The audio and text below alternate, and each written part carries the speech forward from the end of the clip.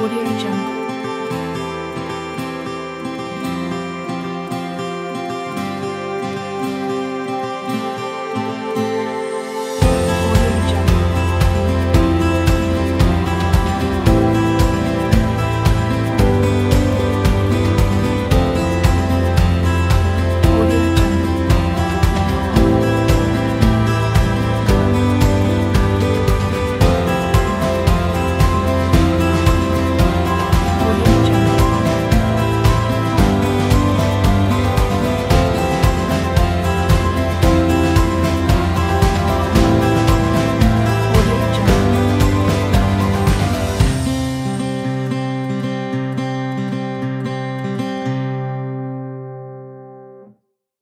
Audio Jungle.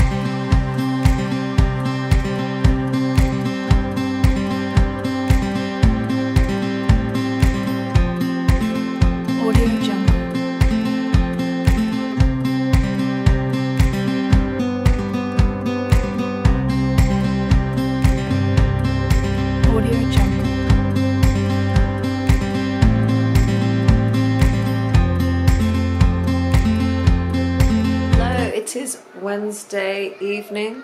Got a bit of hair in my eye. How are you doing? I've decided to do the whole 30 elimination diet thing. I tried it a couple of years ago and I failed miserably. But I feel like uh, I really am giving it a better go this time around. So I have, I noticed today I left drinking coffee until four o'clock in the afternoon and I noticed that it worked out really well really really well for my energy levels. I seem to um, still feeling the effects and it's way gone in the evening right now. So laundry has been folded and put away. The day is done and I feel like tomorrow I'm going to just push the coffee drinking even further. I'm just going to try and push it and push it until I can just maybe just slide it off the edge completely and just maybe quit. I'm not, I do not have high hopes for that.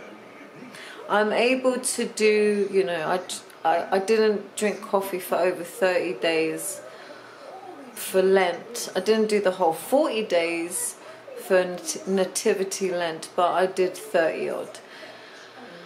But the taste and the smell got to me like a couple of days ago when I made some. It was just so lovely. So lovely, but it's the same sort of lovely that sugar is for me. So I have to be so careful about these things because otherwise, what I do is when I feel like I'm a little bit pinched, like you know, I've got loads to do and time's running out and all the rest of it, I'll go and have sugar, and I really, really don't like that. I'm also a bit of an emotional eater and sugar crave I crave sugar when I'm a bit stressed out so I don't I, I really feel like if I did this elimination diet it would be a good thing does anyone want to do it with me or, or have you done it have you done it before I'm not a huge meat eater so it's probably going to bend more on the uh, vegetarian side of things but I do like meat I just can't eat it more than I don't know, once a week. I can't eat it for a lot. Don't know.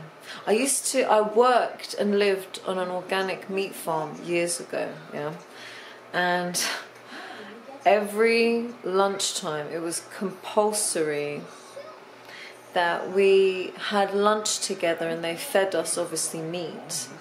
And it was like the best quality meat. But after about a month of having this steady diet of being heavily, heavily meat based, my nails, I started to get massive white lines in my nails, like I was starting to get deficient because I wasn't having anything green.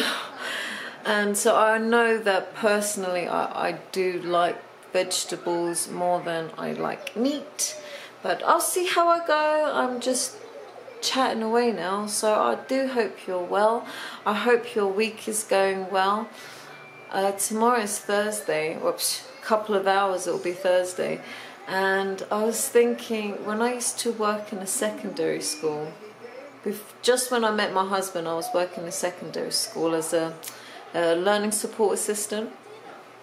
And if you've ever worked in a school, I don't know, maybe this is just like in the context of a London school, I don't know, but everyone used to get so excited on Thursday.